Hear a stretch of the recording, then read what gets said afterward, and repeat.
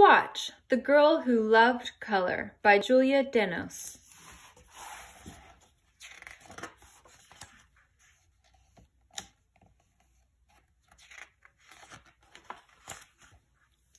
In a place where colors ran wild, there lived a girl who was wilder still.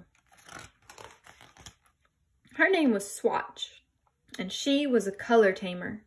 She was small, but she was not afraid. She could run with the wildest shades, train them to dance, and do magic. With a little patience, she learned to hunt the rare ones. Bravest green shot up first week of March.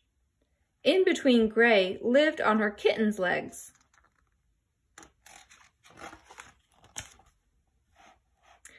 Rumble tumble pink rolled through the sky on the heels of outgoing thunderstorms. When she called them by name, they would come to her because Swatch loved color and color loved Swatch back. Swatch had never thought of capturing a color until the day she lured Just Laid Blue straight from its nest and into a jam jar. Stay, Swatch said, and the color stayed. How beautiful it looked behind glass. You could use a friend, she said to Blue. So she caught one more, then another, and another. Soon Swatch's room was just full to bursting. The colors circled, restless in their jars. They were magnificent, but there was still one color left to catch.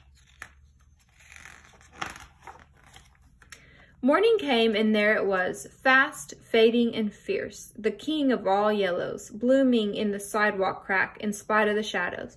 Swatch was ready. At last, yellowest yellow would be hers.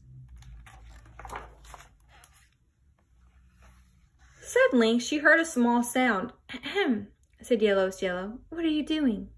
Swatch had never asked if a color wanted taming. Yellowest Yellow, she asked politely. Would you like to climb into this jar? You could sit on a shelf right next to blue. You could make green together all day long if you wanted. I'll poke holes in the top and I'll feed you dinner. But Yellow, knowing that was no way to live, said, no thank you. And Swatch, who could have scooped it up anyway, said, okay.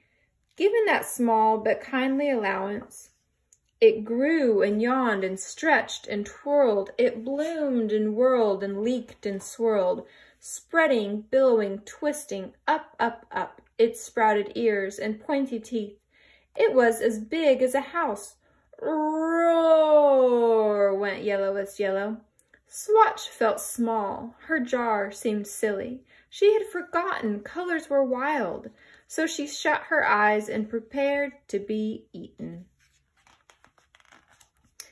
Then Swatch heard something sweet and warbling, like a fleet of canaries.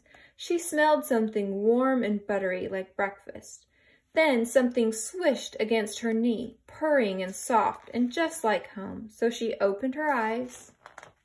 She reached out her hand, and stretching from her tiptoes, she found she could indeed touch Yellow.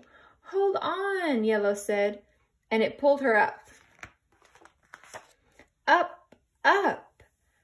Up over the rooftops, she called her colors by name and they came to her.